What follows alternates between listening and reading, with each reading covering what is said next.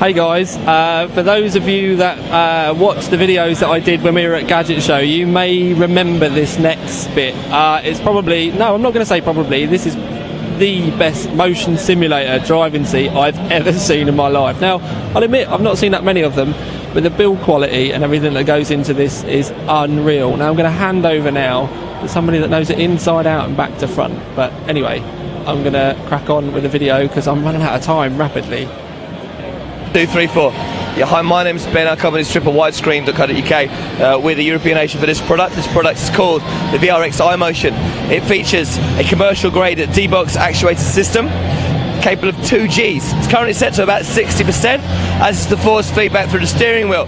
The reason we do that, because otherwise it just gets a bit too much for people. We've also got on the traction control, the stability control, the ABS, they are all on. Nevertheless, I think we still managed to put across the difference between a game and a racing simulation. The car which we're racing in today is a 1981 BMW M1 Turbo. It's got about 800, 850 brake, weighs about 750, 800 kilos. Midship mounted rear wheel drive monster with no downforce whatsoever. It is a clown of a car. Together with the D-Box technology, we've also got NVIDIA triple screen 3D vision. 3D vision surround, they call it. Three screens in 3D. It's powered by Scan PC, the 3XS Cyclone. It's got two supercharged GTX 580s, liquid cooled in SLI. Um, what else have we got here? Well, we've got a Bose sound system, we've got a Sparco seat, top of the range, Logitech steering wheel, force feedback, of course. The pedal set come from Germany. They're by a company called Fanatec. It's got a load cell, a load cell brake pedal. That means it's pressure sensitive. What's the frame made of? The frame is made out of aircraft grade stainless steel. Comes with a seven year warranty against breaking. The motion equipment designed for cinemas, designed to run 365 days a year, 8, 9, 10 hours a day. Yeah, it's amazing equipment. Please come and enjoy the fun.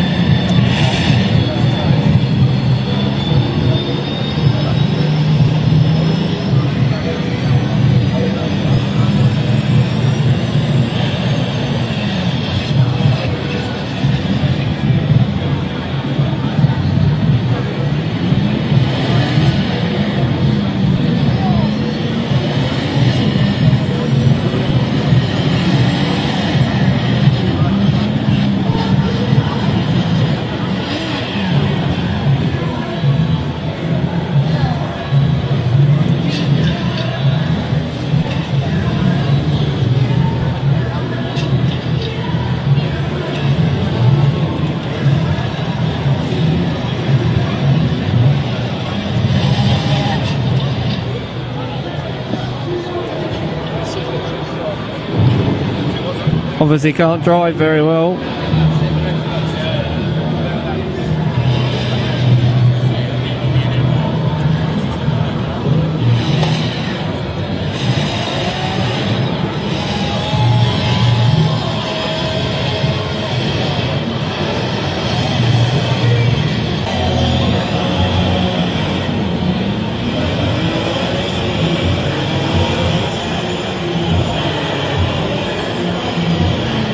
Satisfied,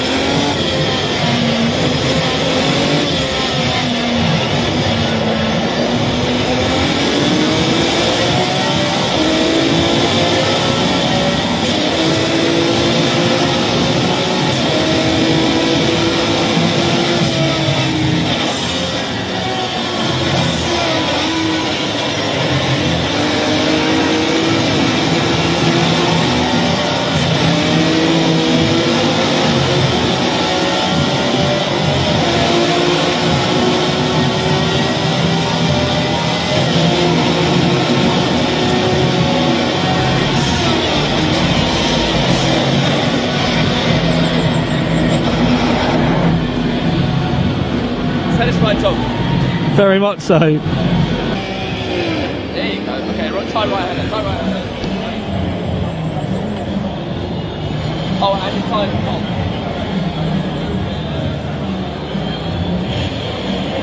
top. Right, guys, the frame is made out of aircraft grade stainless steel, and then we've got swathes of carbon fibre everywhere, all round the base of the seat, all round the end of the actuators. The bottom, quite cleverly, is uh, just composite, but then it's wrapped with Di-Noc.